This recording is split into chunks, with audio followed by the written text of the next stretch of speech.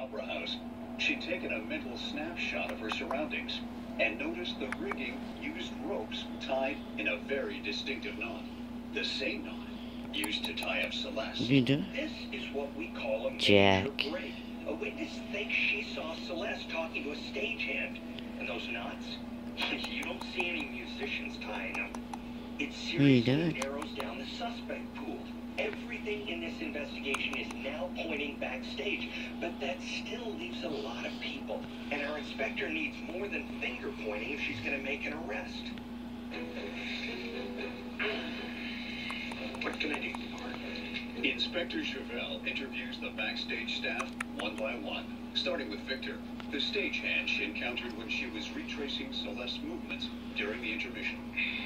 Can you explain to me why you're cleaning up a few feet away from my crime scene? What you doing?